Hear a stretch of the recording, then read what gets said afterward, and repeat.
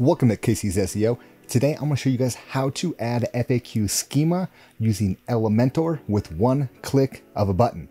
So if you guys like this SEO tip, make sure to hit that subscribe button for more. But for now, let's jump over to the computer and let's go over this tip real quick. When you're using Elementor and you want to add FAQ schema, you can do it with one click. So go to your page to where you want your FAQ so for me, I have a section right here at the bottom, which I just use an accordion tab.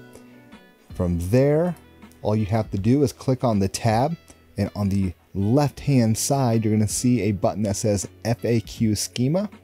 Hit yes, and then hit update or publish the page. And then there's a couple different ways that you guys can test to see if your FAQ schema worked. You can go over to your page, you can right click that page, hit view page source.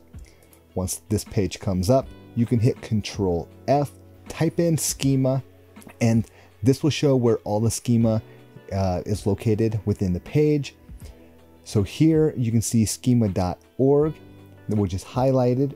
And then over to the right, you have question, name, and then it goes on to the question and then you can see that the FAQ schema was added properly. Now you can also go to search.google.com and use their schema checker. Put your URL in, it will scan the site, and right here you can see a green check mark that says FAQ.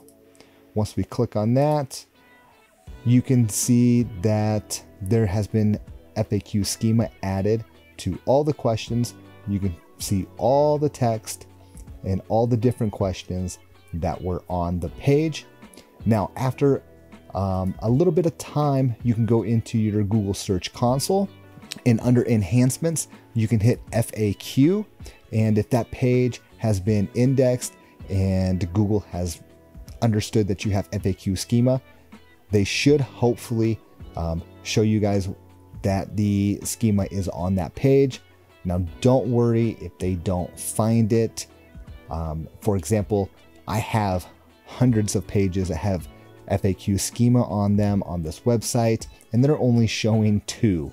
So it is there. Just realize that the Search Console is not always perfect and doesn't always stay updated. But nonetheless, you can check under the enhancement section on Google Search Console. There you go, one click of a button, and you can add FAQ schema when you use Elementor. Now you don't have to spend minutes or hours adding all your FAQ schema in a schema generator. Just click that one button, hit update or publish, and you are done. So if you guys have any questions, please leave them in the comments below. And if you need more daily SEO tips, make sure to hit that subscribe button.